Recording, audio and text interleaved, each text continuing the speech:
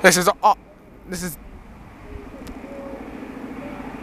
Edinburgh to Penzance, formed of a HST with a power car from Virgin Trains.